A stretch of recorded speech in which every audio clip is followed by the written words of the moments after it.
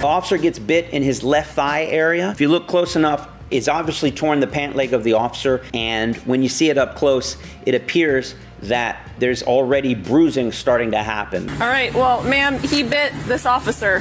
no, this is... Let me take him You myself. did not okay, have control no, of the dog. She's basically saying this wouldn't have happened if animal control let her take the dog herself down to the animal control building. Well, they did let her take the dog to the animal control van and look what happened. And again, not an apology, no, I'm sorry, let me help you with that, nothing out of her. It's everybody else's fault that her dog's biting people.